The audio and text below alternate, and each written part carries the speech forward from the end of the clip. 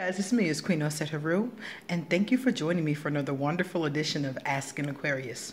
If you haven't already, please hit the red subscribe button and smack the bell. Now, if you guys remember correctly, I told you a long time ago that every sign has a gift that they give to the world.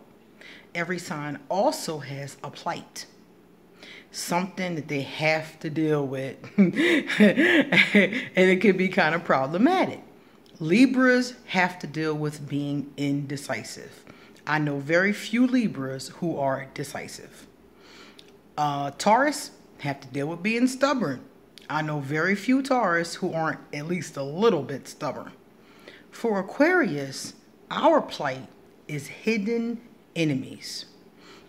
Aquarius is a sign about friendship. It's a sign about cooperation, about humanitarian efforts it's a sign about dealing with others because of those things. Now, we all know that we deal with others a lot and we also retreat from others as need be. But one thing that you may not know is a lot of times Aquarius have hidden enemies. And I want you guys to be aware of this and I want you to be careful of this because some of these enemies are in your circle. A lot of times the enemies are masquerading as friends. They're masquerading as your best friend. They're masquerading as somebody who you can confide in. That's why they call them hidden enemies because they don't really reveal themselves. Sometimes somebody else might know that they're not, you know, they one of your enemies. And other times they might not.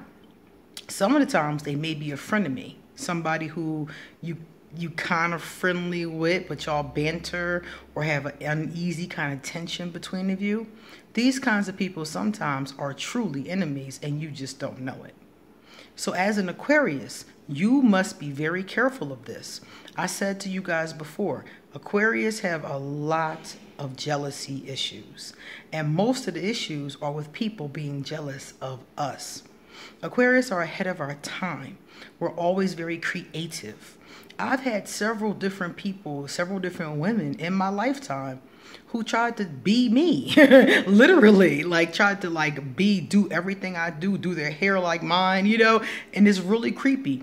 Any of you who remember that movie single white female and another one came out after it called the roommate same concept. There's a woman another woman becomes obsessed with her and tries to be her cuts her hair like her, tries to steal her boyfriend, you know, starts to do things she likes to do, the way she does them. Like I've had people do this literally, and I'm looking at them like Twilight Zone, you know? Those are some of those hidden enemies. Those are people who literally want to be you. And they will put you down. They will badmouth you behind your back. They'll do all kind of things because they're jealous of you. Aquarius deal with a lot of that kind of jealous energy. We deal with a lot of people who want to be us, who are jealous of us, who are mad because we're being and doing us and they get pissed about that. And some of them take it as far as to try to actually, like, you know, impersonate you. And someone once said that impersonation was a form of flattery. That shit not flattering when it happens to you. Trust me and believe me, it is not flattering. When you walk into a room and somebody has on the same outfit or has cut their hair exactly like yours, that shit's not flattering at all. I was not flattered in the least bit, okay? So I want Aquarius to pay attention to that. And, and, those of you who love an Aquarius, pay attention to that. Because some of the times, the people who are closest to the Aquarius are not really their friends. Um, Aquarius are very intuitive. But when we have a soft spot for someone, we do sometimes let them get away with shit that we wouldn't let nobody else get away with. So you have to be very careful. On more than one occasion, somebody I thought was my friend turned out to be exactly the opposite. On more than one occasion, I mean, I'm, I'm, I'm thinking more than five, more than six, more than seven occasions, somebody who I thought was a friend turned out to be somebody who was basically a hater. You know, some people don't come around you, they don't call you, they don't text you, they don't catch up with you, they don't check in with you just to see how you're doing. just to, you know, check and see how you are. Some people do that to have something to say. You know? So here you are talking to your friend and they're going around twisting your words, lying on you. I've had so many things like that happen to me, and I mean ever since I was a little girl. And it's in our chart. Some of us have it in our houses. Like I've seen it in certain people's house, and I'm like, ooh, there's a problem here. There's some some secret motives going on here. But also, when you look at Aquarius, that jealousy is very common with us, and so you do see those frenemies, those hidden enemies. Some of the times, there are people who are related to us. So Aquarius, one of the things you have to do is you have to use your intuition. You have to watch your back you have to use your intuition. And when you know someone and they do something that's shady, don't keep giving them the benefit of the doubt. Because what happens is, if you keep giving them the benefit of the doubt after you already know what's going on, you just leave yourself out to be further victimized. And then when you finally decide that you want to do something about it, they have a lot of ammunition against you. So you want to be very, very careful. A person who's your friend is in a great position to really put your business in the street. Not to say that you're out doing anything crazy, but they could just take something innocent and twist it around, you know? And you know something? I'm talking about it from a intellectual standpoint. I'm telling you guys from a warning standpoint to be careful. But from an emotional standpoint, that shit is painful it is really painful. Last night I was laying in bed thinking about it and I was like it it hurt every single time. And not to say that you know Aquarius is this, you know, innocent little victim sitting in a corner, but most of the time when this happens, we didn't do nothing.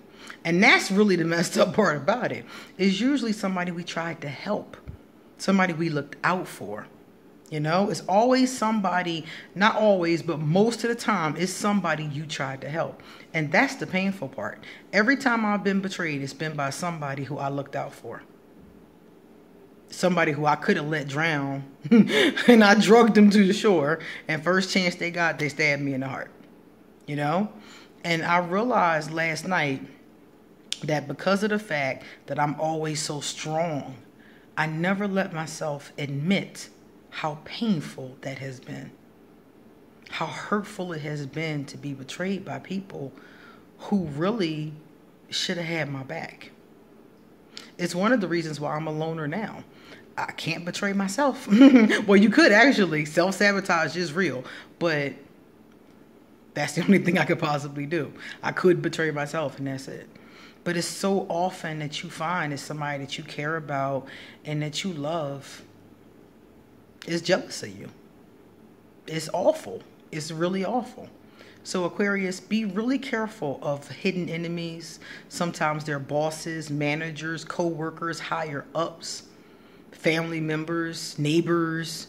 You know, really eye every person and really, you know, let your third eye eye every person before you let them into your camp. Because what you're going to find is is that some of the times you have snakes in your grass. And the only way to deal with a snake in the grass is to cut its head off.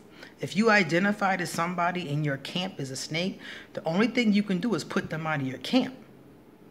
Don't ignore it aquarius because it won't go away it'll only get worse okay all right guys time for me to get going now if you like this video please give it a thumbs up if you know somebody who has frenemies, if you know somebody who has secret enemies, please pass this video on to them and tell them I said, watch your back. Okay? Uh, if you would like to give me a love donation, I will leave my PayPal information. If you would like to get a tarot or an oracle card reading, please inbox me for, email me or inbox me on Facebook for an appointment. If you would like to ask me a free general question, feel free to drop it underneath this video or you can also email it to me. I'm also going to leave my social media, my Facebook and my Instagram. So feel free to hit me up. Okay, guys. Thanks for listening. See you later.